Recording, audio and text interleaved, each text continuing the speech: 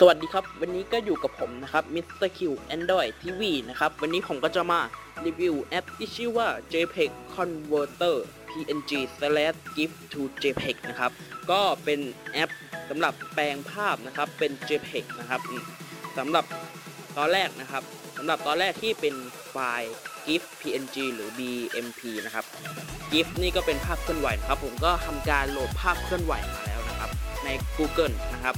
ก็ผมก็จะมาสอนแปลงไฟล์กันต่อนะครับ เอ้ย กันเลยนะครับ โอเค เมื่อคุณโหลดแอปนี้แล้วนะครับ ก็โหลดฟรีนะครับอะผมก็จะมาให้ดูภาพเคลื่อนไหวก่อนนะครับ ภาพเคลื่อนไหวนะครับ ภาพภาพเคลื่อนไหวก็ประมาณนี้นะครับ ภาพเคลื่อนไหวผมก็จะทำให้มันเป็นภาพนิ่งนะครับหรือภาพ JPEG นะครับ อันนี้ก็เขาเรียกว่าไฟล์กริฟนะครับ ไฟล์กริฟก็คือภาพเคลื่อนไหวนะครับผม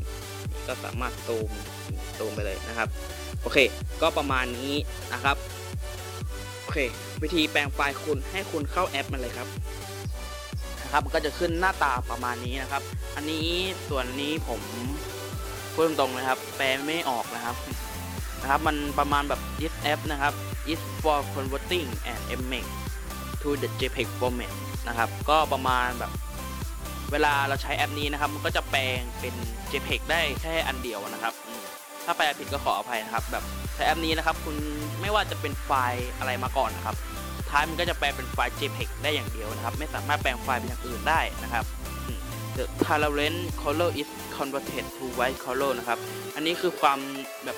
ใสเปล่าอ,อันนี้ไม่แน่ใจนะมันคืออะไรนะครับ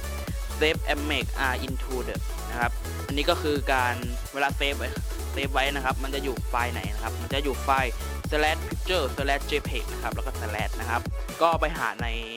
ตัวจัดการไฟล์ของคุณเลยนะครับ ต่อไปก็คือ report a problem art นะครับ problem problem problem อะไรกันสักอย่างนะครับ ก็คือการไปส่งจดหมายนะครับ ส่งข้อความไปให้ทางผู้พัฒนานะครับ ว่าเรามีอะไร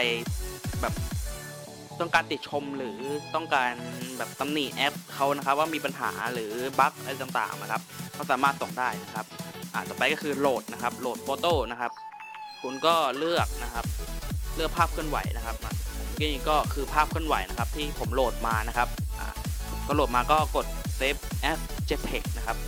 ก็คือการเซฟเป็นไฟล์นิ่งนะครับ เป็น jpeg นะครับอ่าภาพเคลื่อนไหวของผมก็จะนิ่งแล้วนะครับ ก็จะเป็นภาพนิ่งๆ ยืนนิ่งๆ แบบนี้นะครับ คุณก็สามารถแชร์ได้นะครับ แชร์ไปที่แอปต่างๆ ได้นะครับ โอเค ก็ประมาณนี้นะครับ วิธีใช้แอปนี้นะครับ วิธีใช้ก็ไม่ไม่ยากเลยนะครับ ง่ายนิดเดียวนะครับ ง่ายแสนง่ายเลยนะครับ แอปนี้นะครับ ก็วิธีแปลงก็โคตรง่ายเลยนะครับอะก็มาดูผลลัพธ์นะครับ ส่วนผลลัพธ์นั้นจะเป็นประมาณนี้ครับอยู่ไหนว่านะครับ นี่ครับประมาณนี้ครับมันก็จะนิ่งนะครับเห็นไหมไม่เคลื่อนไหวแล้วนะครับ ก่อนหน้านี้มันจะเคลื่อนไหวนะครับเคลื่อนไหวนะครับเห็นไหมครับมันจะเคลื่อนไหวนะครับ เมื่อผมใช้แอปนี้นะครับ มันก็จะเป็นภาพนิ่งนะครับนี่นะครับ ก็จบการรีวิวแอปนี้แล้วนะครับ ก็ฝากกดไลค์กด subscribe กดแชร์ด้วยนะครับ แล้วก็สงสัยอะไรหรือต้องการติชมต้องการด่าว่านะครับ ก็อย่าเพิ่งด่ากันนะครับก็พูดกันดีๆนะครับ ก็